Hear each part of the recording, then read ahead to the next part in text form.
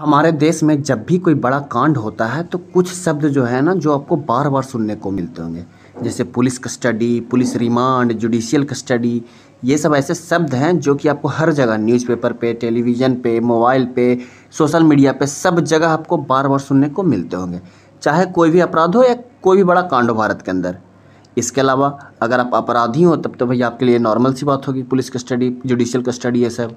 तो जब भी आप इन शब्दों को कहीं सुनते होंगे या फिर पढ़ते होंगे तो आपके दिमाग में एक सवाल ज़रूर उठता होगा कि ये police remand, police custody, judicial custody, ये सब होता क्या है आखिरकार? तो बने रहिए हमारे साथ, क्योंकि इस वीडियो में हम लोग यही डिस्कस करने वाले हैं कि आखिरकार ये police custody, police remand, judicial custody, ये सब होता क्या है और ये सिस्टम कैसे चलता है? और अभी तक आपने अगर हमारे चैनल सब्सक्राइब नहीं किया तो हमारे चैनल को सब्सक्राइब करके बेल बटन ज़रूर प्रेस कर लें, ताकि इसी प्रकार की सारी इंपॉर्टेंट वीडियो की नोटिफिकेशन आपको मिलते रहे ऑन टाइम आपको एक कहानी सुनाता हूँ। उस कहानी के माध्यम से आपको सारी चीज़ें क्लियर हो जाएगी कि पुलिस कस्टडी क्या होता है, पुलिस रिमांड क्या होता है, जुडिशियल कस्टडी क्या होता है। सबसे पहले तो मैं आपको पुलिस कस्टडी क्लियर कर देता हूँ। पुलिस कस्टडी में कब लेती है? जब कोई अपराध संगीन नहीं हो मतलब छोटा मोटा अपराध हो, या जैसे कि मैं धरना दे रहा हूँ, या फिर कहीं भीड़ इकट्ठा करके रखा हूँ तो उस धरना को ख़त्म करने के लिए, उस आंदोलन को ख़त्म करने के लिए, उस भीड़ को ख़त्म करने के लिए पुलिस क्या करती है? कुछ लोगों को अपने कस्टडी में ले लेती है, हिरासत में ले लेती है। इस हिरासत में लेने का मतलब उस पर एफ़ वगैरह नहीं होता है, बस उसको चार पाँच घंटे, एक दिन, दो दिन ऐसे रखेगी, उसके बाद उसे छोड़ दी जाती है। अगर पुलिस किसी भी व्यक्ति को कस्टडी में लेती है तो इसका मुख्य उद्देश्य ये होता है कि उस व्यक्ति के द्वारा किसी भी प्रकार के दंगा, फसाद को अंजाम ना दिया जा सके और होने वाले क्राइम से बचा जा सके। एक चीज़ ध्यान दीजिएगा कि पुलिस कस्टडी में किसी भी व्यक्ति पे एफआईआर नहीं होती है, उसे अरेस्ट नहीं किया जाता है, बस उसे चार पाँच घंटे रखा जाता है ताकि उस आंदोलन को ख़त्म किया जा सके, उस भीड़ को ख़त्म किया जा सके और क्राइम होने से बचा जा सके। परंतु जब कोई व्यक्ति संगीन अपराध करता है, जैसे कि मान लीजिए कि मैंने किसी का मर्डर किया है अब पुलिस मुझे कस्टडी में थोड़ी लेगी। कस्टडी में तो तब लिया जाता ना, जब किसी दुर्घटना को अंजाम देने से बचा जा सके, पर मैंने तो यहाँ अपराध कर दिया है। तब इस समय पुलिस मुझे क्या करेगी? अरेस्ट करेगी। अब अरेस्ट करने के बाद भारत की संविधान में यह कानून है कि अरेस्ट करने के 24 घंटा के अंदर मुझे जो है वो कोर्ट में पेश करना पड़ेगा पुलिस को।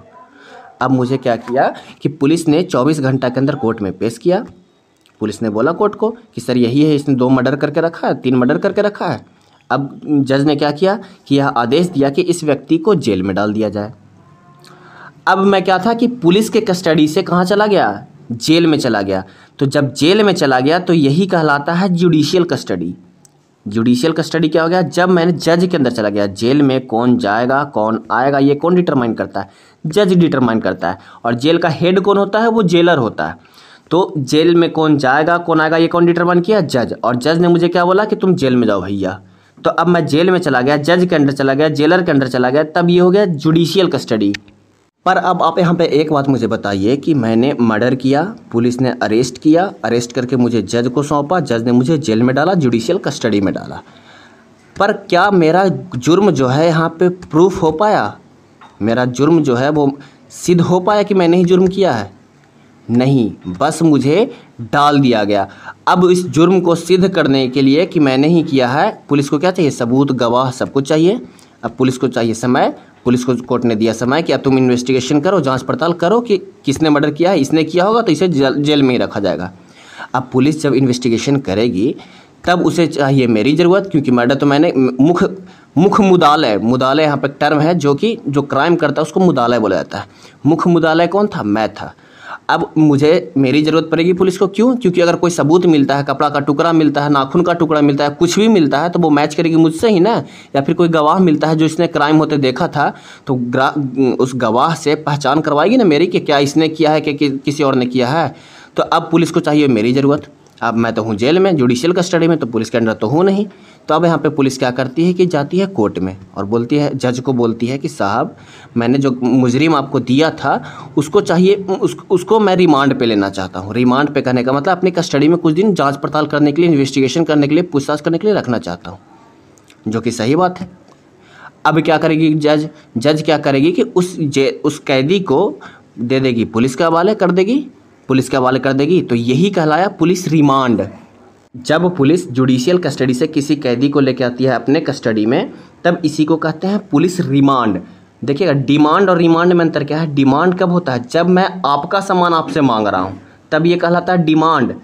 रिमांड क्या हो गया? जब मैं मेरा दिया हुआ सामान आपसे मांग रहा हूँ तो पुलिस ने तो आप कैदी दिया था जुडिशियल कस्टडी में ना तो ये अपना दिया हुआ सामान मांग रहा है। तो इस कारण से इसको पुलिस रिमांड बोलते हैं, ना कि डिमांड। उम्मीद है कि आपको सारी टॉपिक्स क्लियर हो चुकी होंगी कि पुलिस कस्टडी क्या होता है जुडिशियल कस्टडी क्या होता है, और पुलिस रिमांड क्या होता है। अगर आपको अभी भी किसी भी प्रकार की प्रॉब्लम है तो आप मुझे कमेंट बॉक्स में पूछ सकते हैं, मैं आपको वहाँ पर रिप्लाई देने की कोशिश ज़रूर करूँगा।